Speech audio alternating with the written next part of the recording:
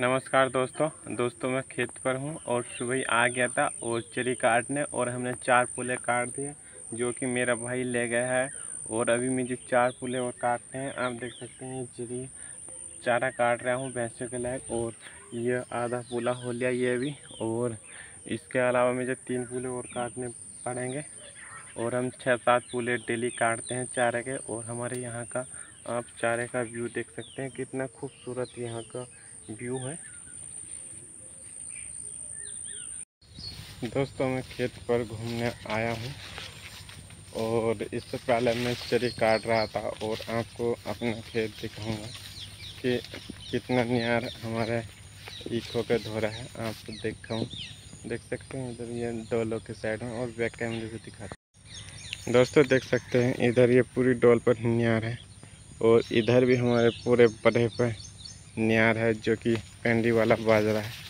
और मैं आगे चल रहा हूँ, आपको यहाँ का चारों साइड का व्यू दिखाऊँ। और ये गन्ना देख सकते हैं हमारा।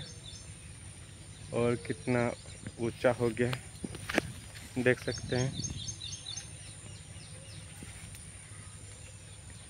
काफ़ी ऊँचा गन्ना हो गया है, और मैं मुंजी के लायक आपको पनीर दिखाऊँ। कितना बड़ा हो गया, और मैं बोने के बाद यहाँ नहीं आया। काफ़ी दिनों बाद आया था और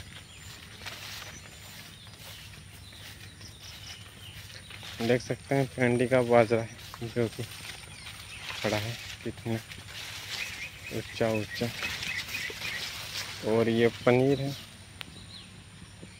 जो कि छोटा छोटा भी है। अभी बोने लायक नहीं हुआ, कम से कम पंद्रह दिन ले, लेगा ये, आप देख सकते हैं। और दोस्तों, अब मैं घर जा रहा हूँ। आपको घर जाने के बाद मैं दिखाऊँगा। और यहाँ हम अपने खेतों पर घूम लिए। और यहाँ का चारों साइड का व्यू कितना खूबसूरत लग रहा है। दोस्तों, शाम का टाइम हो चुका है और मैंने अपनी भैंसों को पानी भी पिला दिया और दाना भी डाल दिया है। और हमारे यहाँ का आप लोग देख सकते हैं और उधर भुट्टे खेल रहा है। और दोस्तों, आज का भी लोग यहीं समाप्त करते हैं।